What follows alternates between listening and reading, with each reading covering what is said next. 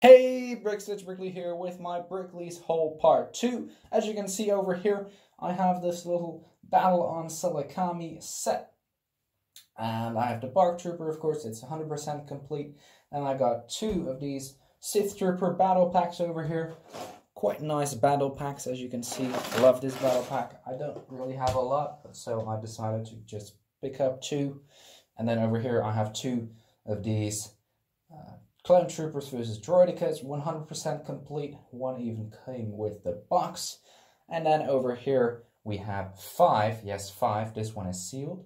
Five of the 501st ATRTs, and I love the fact that I'm, well, I bought these uh, for a, good, quite a good price, and this one was sealed.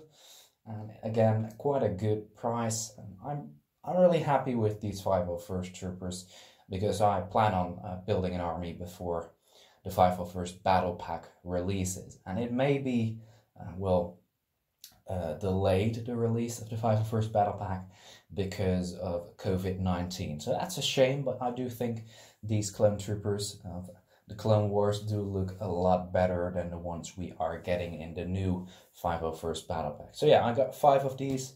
100% complete for a pretty good price. And then, of course, what's a BrickLi's Haul without Lord of the Rings? Got a couple of these poly bags, the Uruk-hai Ballista poly bag, and I will be building these in my videos of the Uruk-hai army. If you haven't seen the first Uruk-hai army video, click this little notification over here on the top. Click it, watch that video, and come back to this video. And if you haven't subscribed yet, guys, do, please do so because around 80% of the people watching my videos is not subscribed. So go hit that subscribe button, leave a thumbs up of course, and ring the notification bell. So, Uruk-hai Ballista, I thought it would be pretty cool to get a couple of these. So, I actually uh, bought 90 of these, 90 Uruk-hai Ballista sets. So yeah, 90 of these. That's a, quite a high quantity.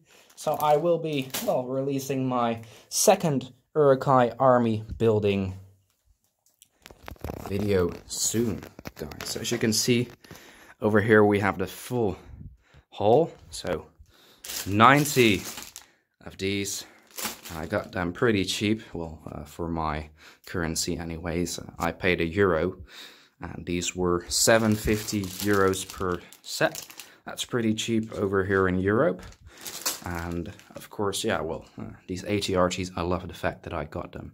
And then all these other awesome clone sets. So a Uruk-hai haul and a clone army haul. I hope you like it. Leave a thumbs up, subscribe, ring the notification bell, and I'll see you guys in the next video.